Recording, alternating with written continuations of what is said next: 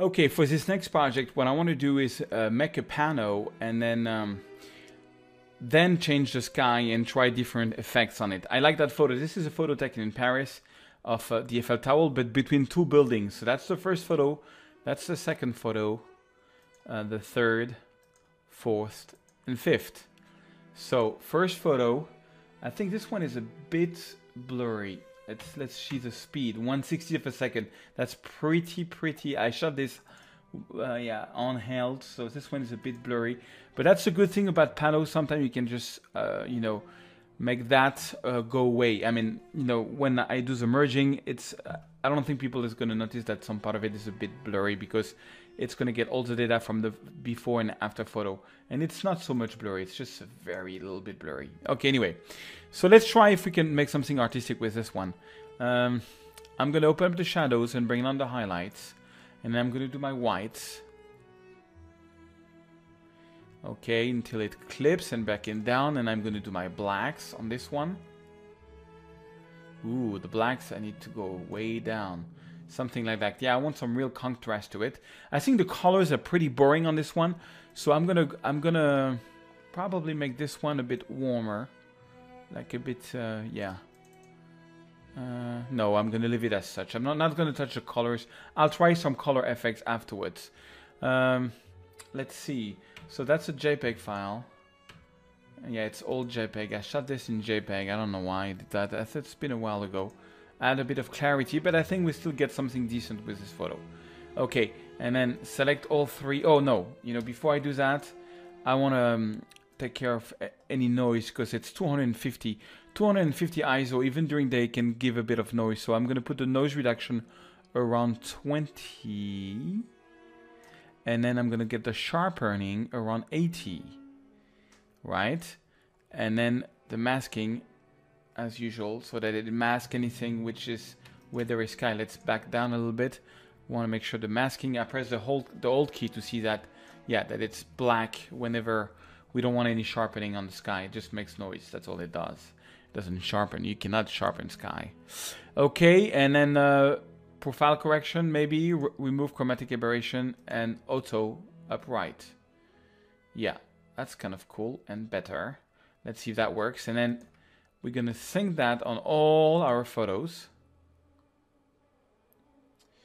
Okay, and then right click, edit, uh, merge to panorama in Photoshop. Okay, click OK, and that's going to take a while, so I'm going to put on pause while it's doing that. This is how it comes out. It's kind of, uh, of weird. I don't think I'm going to keep the top here, but what I'm going to do is I'm going to press Command E, or I'm going to go to Layers, sorry, and flatten image, flat everything.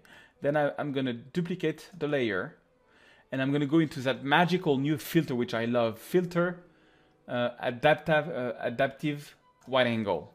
And what that's going to do is I'm going to use it to make uh, the building straight. For example, this, I'm going to click here, and that creates a line. That line I'm going to make going down the whole way here, and then I'm going to right click on top and say vertical. That means I want this to be vertical.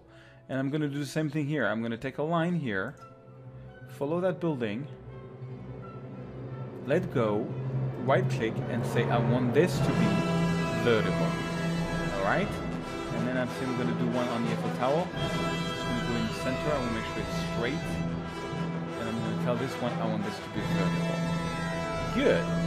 Um, yeah, and then also it's good to, when you do that, uh, so that you don't have rounded stuff in the middle, just put in a few lines here and just gonna make sure it's not too much rounded.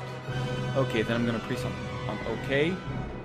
And uh, I'm gonna, so now that's the before, after, it's just more straight. I'm gonna get that background off. And I'm gonna take my crop tool and I'm gonna crop a lot of this photo because, uh, yeah, I just want the buildings like this. I don't think I want that much of the Tower. I think something like that could be interesting because we don't have it anywhere on top. I don't want this to be too much of a vertical photo. I think it's going to be more dynamic if it's something like that, like to the limit of that building, maybe. Just add a bit more of that building and press enter. Yeah, I like that. Okay, and uh, so let's see the size of it. Uh, yeah, it's still it's still pretty big. You know, 2,348 by 3,000 3,663. Okay, that's a decent photo. So now let's do some sky replacement. You see, it's pretty sharp. Yeah, it's pretty, it's decent sharp.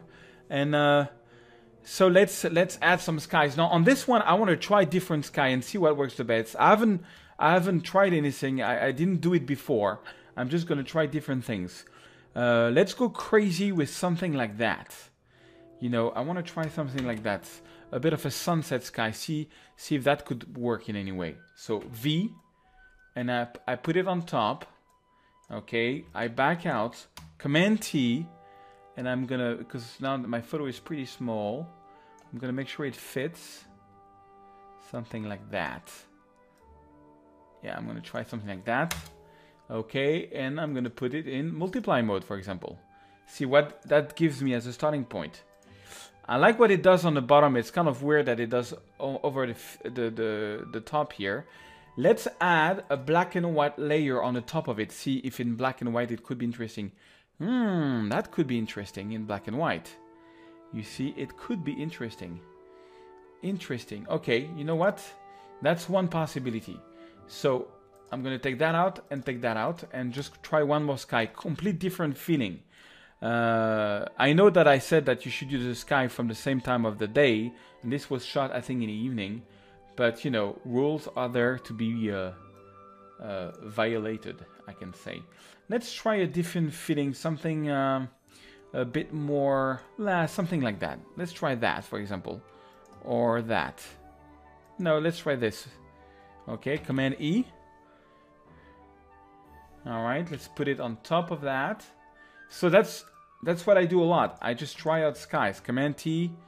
Uh, okay, let's put it in multiply mode already see how it fits. Not so bad. It kind of looks weird, but you know, we have to find the right thing or whatever that is, you know. Um, yeah, I kind of preferred the one we had before. I think this one was kind of uh, more interesting somehow. Uh, it just looks weird.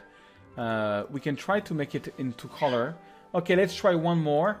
Uh, let's try one more something different.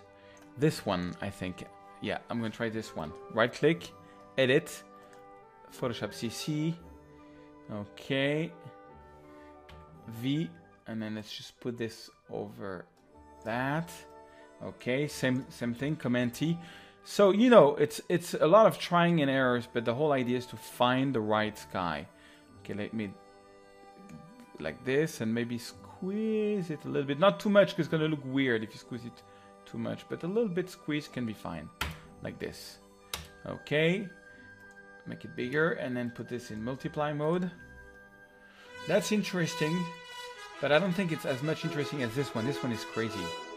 I like when it's crazy. It's to take a bit of work. Okay, you know what? I'm to go on this one. So I'm to throw that layer away. I'm to throw that layer away. Oh, sorry. That layer away. All right. So First, masking. I want to try something here. Um, masking. Alright. So, as usual, black as a foreground. I've got a white mask and 20% opacity. And, um, back here a little bit. It looks weird here on the buildings. So I'm going to take it out here. But I like how it does, you know, a little on on the on the um, on the trees. It makes interesting light on the trees, I think. But on the the problem with that is sometimes you just go with too much drama. You know, too strong, too much drama. I think I'm going to lower uh, the opacity of that layer. Something like that. I want some of that stuff, but not all of it. Okay.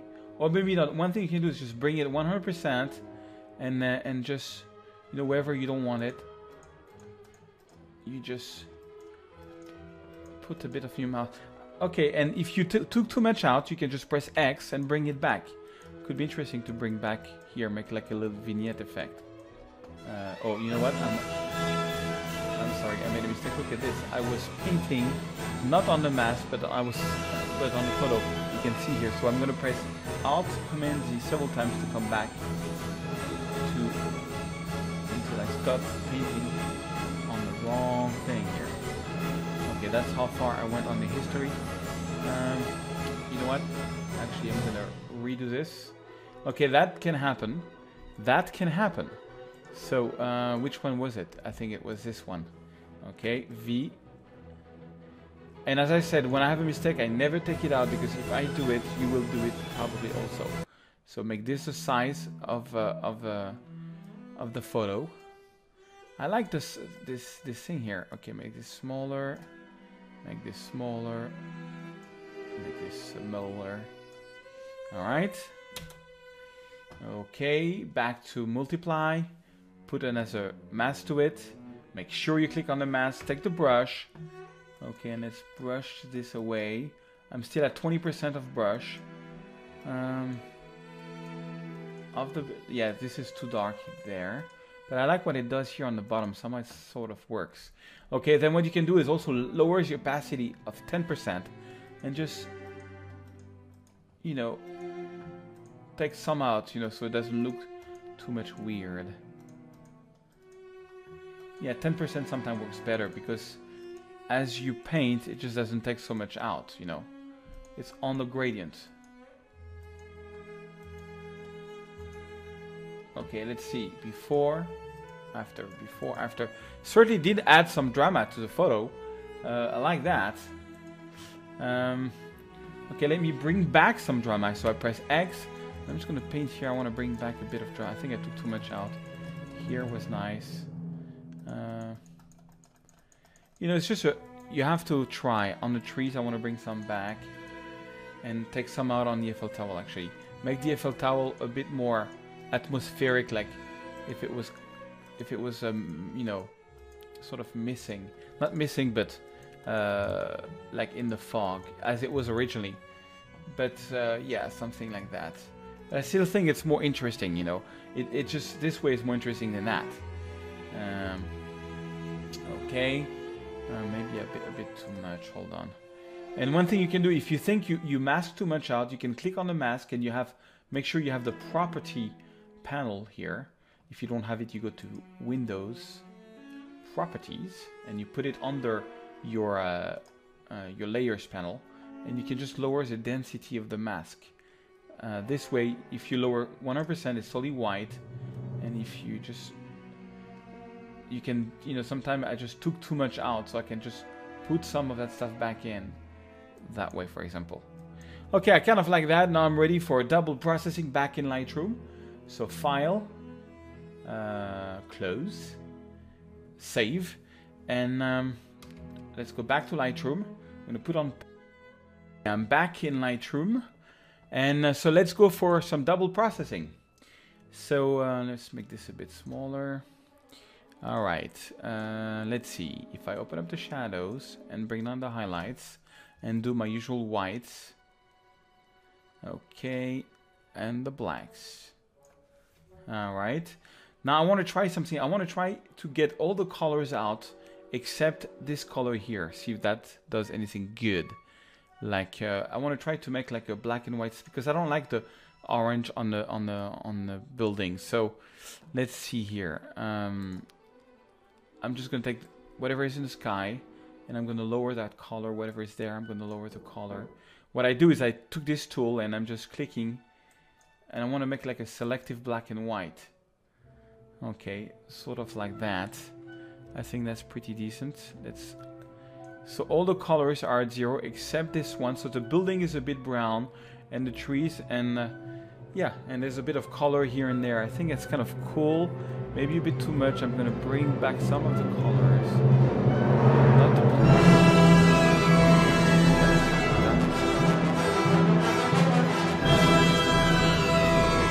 I don't know, just to give it like a little artistic look. Yeah. But you know, now we've added really drama with this guy, you know. Uh, yeah, I don't know. I don't like the colors with the lower, just the, yeah, just whatever is including. And leave a bit of color there. I think I like that. And to finish it off, I think I might just add a little